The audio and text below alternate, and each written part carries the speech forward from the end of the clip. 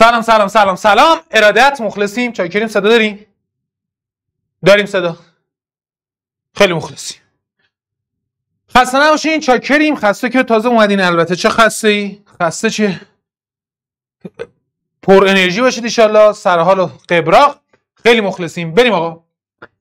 از جلسه قبل کلاس هر وقت دلم خواست تموم میشه. بچه ها نیومدی تو نوشته کلاس کی تموم میشه. لعنت بر شیطون از جلسه قبل اگه کسی سوال داره یه نفر همیشه اول کلاس یه نفر میاریم رو خط که سوال بپرسه. اما در مورد امروز بگم که امروز چیکار می‌کنیم؟ امروز براتون از فصل دوم یعنی جلسه قبل فصل یک چگالیا رو اومدیم با هم یه بررسی کردیم. قرار شد کلاسمون صفر تا صد باشه. معنیش نیست که فقط صفر درس بدم. صفر تا صد. و اینجا بهتون جلسه قبل یاد دادم که یه چگالی رو از چند جنبه نگاه کنید. تازه باز جورای دیگه هم میشه. جلسه قبل فرصت نکردیم. اگه فیلم های جلسات پارسال رو ببینین تو اونا درس دادم. سر کلاس حالا به موقعش درس میدم. امروز براتون یه کارگاه لوله شکل دارم. کارگاه لوله شکل یعنی کل امروز رو می‌خوام بهتون صفر تا صد یاد بدم. چجوری از یه آدم صفر که لوله شکل فقط می‌دونه شبیه یوه تبدیل بشیم به آدمی که با چشم سوال لوله شکل رو حل می‌کنه.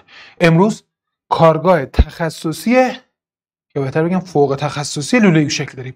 از این کلاس امروز که میریم بیرون تبدیل به آدمی میشین که تست لوله یو شکل بهش میدن. هر کتابی هر بانک تستی رو هوا می‌زنه. این مسیر صفر تا صد امروز با هم طی می‌کنیم. برای این شش دنگ حواستون به باشه.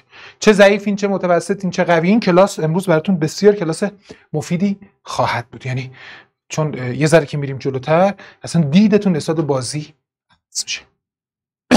بریم. آقا جزء آماده است دیگه. بریم بریم چی هر وقت چاپ شد بتون.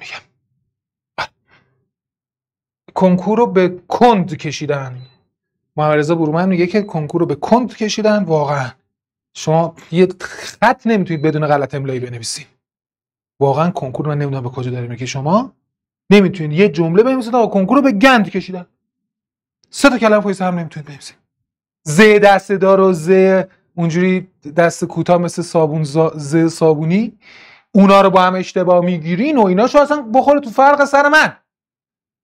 اونو ولش در مورد کنکور به به سلام دکتر. ارادت. خیلی مخلصیم. چاکریم. بریم. بریم. آقا من نمی‌دونم که چیز چی کار باید بکنید. ما باخچه خودمون رو بیل بزنیم. در مورد فیزیک صحبت کنیم. آقا یه نفری که در مورد جلسه قبل سوال داره می‌تونه بیاد رو خط. ولش کن اصلا کنکور رو چیکار سر کلاس می‌خوایم عشق کنیم یاد بگیریم فکر کنیم دنیا رو یه جور دیگه ببینیم. امروز هم همینطوره امروز می‌خوایم لذت ببریم با لوله یو شکل و لذت ببریم از فیزیک. سلام چطوری؟ اسمت چیه بابا؟ الهه اله نجات حسن. اله یه ذره بلندتر. الان صدا خوبه؟ آه الان خوبه. اله جان از اصفهانی شما؟ نه من مشهدم. به به به به به به. مشهد الهه مشهد. الهه خانم سوالتون رو بپرسیم بابا. در مورد تگالی جسم حفره‌دار می‌خواستم بپرسم ظاهری و واقعی رو من همش قاطی می‌کنم. خب الان چی؟ مثلا یه چیزی بگو. سوال کلی که سوال چند؟ پنج. پنج. خب. خب بیا بیا بریم.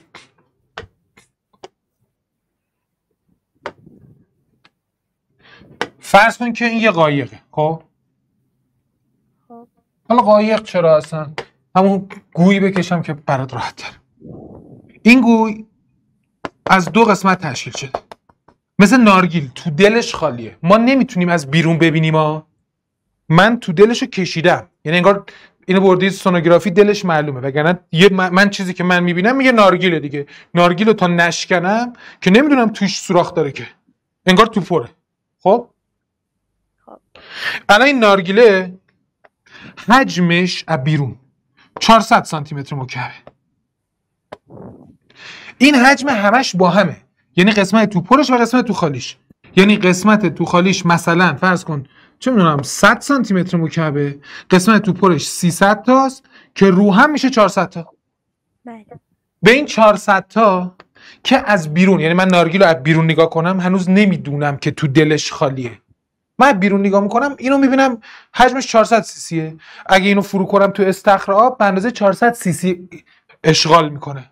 چون آب که تو سوراخش نمیره که سوراخش تو دلشه. اینو بکنم تو استخر آب به اندازه حجم ظاهریش آب اشغال می‌کنه. این میشه حجم ظاهری یعنی حجم بیرونیش. همه چی رو هم.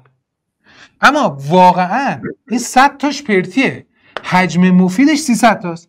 این میشه حجم مفید. یا حجم واقعی؟ یا حجم واقعی؟